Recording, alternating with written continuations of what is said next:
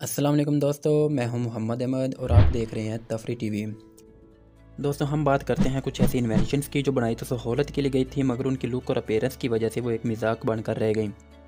सबसे पहले आते हैं इस तस्वीर पर। अगर आप समझ रहे हैं कि ये आदमी मुँह में दबाई इस चीज़ से गुब्बारे भरता है या फिर बैंड बाजों का काम करता है तो आप गलत हैं। असल में ये आदमी सिगरेट पी रहा है और इसके साथ छोटी छतरी अम्ब्रेला लगी हुई है, जिसका मकसद बारिश या बर्फ़बारी के दौरान सिगरेट को पानी से महफूज रखना है। इन्वेंशन मुफीद होती या नहीं, वो तो बाद की बात है। इसे इस्तेमाल करने से ही आदमी मस्खरा या सर्कस का जोकर लगता है। और बाय द वे उन्नीस सौ इकतीस में यह आइडिया भी एक सर्कस के दौरान एक जोकर ने ही दिया था। हैरत है, उनके पास कोई ऐसा समझदार आदमी नहीं था जो इन्हें मशवरा देता कि होंटों कितने वज़न का तकल्लुफ़ देने के बजाय बारिश से बचने के लिए एक बड़ी छतरी साथ क्यों नहीं रख लेते? या हो सकता है उस वक्त सारे समझदार इधर पाकिस्तान बनाने में मसरूफ़ थे? ये बड़ी अच्छी बात कही आप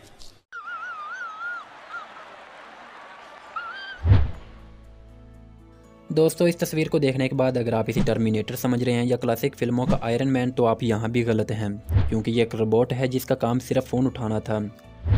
उन्नीस सौ चौंसठ में इसे बनाया गया था और इसका मकसद फ़ोन कॉल्स का जवाब देना था। मगर जब ये बढ़ गया तो फ़ोन कॉल्स आने पर यह सिर्फ़ फ़ोन उठा सकता था। ना तो इनका रिप्लाई देता था, ना मैसेज और ना ही वॉइस को रिकॉर्ड कर सकता था। इसे देख कर ये अजीब लग रहा है कि इतना बड़ा स्ट्रक्चर सिर्फ़ फ़ोन उठाने के लिए बनाया गया था।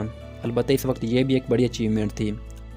अफसोस है कि मार्वल ने अपनी क्लासिक फ़िल्मों में इस जॉकर आयरन मैन के बजाय इसे क्यों नहीं इस्तेमाल किया ताकि उनकी फ़िल्में फ्लॉप होने और मज़ाक बनने से बच जाती। ये एक्सेप्टेबल नहीं है।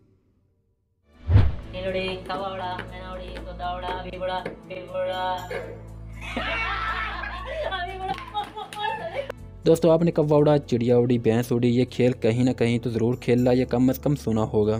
मगर साइंसदानों ने सिर्फ़ भैंस को उड़ाने पर ही एक बस ना की और टैंक को भी उड़ाने की कोशिशों में लग गए। बीसवीं सदी में बहुत से मुल्कों की कोशिश थी कि टैंकों को विंग्स या ग्लाइडर लगाकर उड़ाया जा सके और डायरेक्टली इनको मैदान जंग में उतारा जाए। इस वक्त सोवियत यूनियन सुपर पावर था और इसके पास बड़े बॉम्बर तैयारे थे जो छोटे टैंकों को एक जगह से दूसरी जगह ट्रांसपोर्ट कर सकते थे और इस लिहाज से भी सोवियत यूनियन को दीगर मुल्कों पर बरतरी हासिल थी। लिहाजा इन मुल्कों ने ऐसी बहुत सी कोशिशें की कि टैंक को विंग्स लगाकर उड़ाया जाए और जंग अजीम दो में बहुत से तजुर्बात भी किए जो नाकाम हुए। इन टैंकों को बनाने का मकसद ये था कि जंग के दौरान इन्हें बॉम्बर त्यारे पर लोड करके मैदान जंग में ले जाया जाए और हवा में ही इन्हें एयरक्राफ्ट से अनलोड कर दिया जाए, जिसके बाद वो विंग्स या ग्लाइडर का इस्तेमाल करते हुए ज़मीन तक पहुँच जाएँ और पहुँचने पर ग्लाइडर को उतार दें और फिर दुश्मन पर बमबारी शुरू कर दें। क्योंकि इन्हें ज़मीन पर चलाकर मैदान जंग में पहुँचाना एक तरफ़ तो वक्त तलब कम था और दूसरी तरफ़ फ्यूल बहुत कंज्यूम होता था। जबकि दूसरी तरफ़ इन बॉम्बर एयरक्राफ्ट का ज़मीन पर उतरकर इन टैंकों को अनलोड करना भी एक मुश्किल काम था और इसके साथ दुश्मन के हमले का डर रहता था।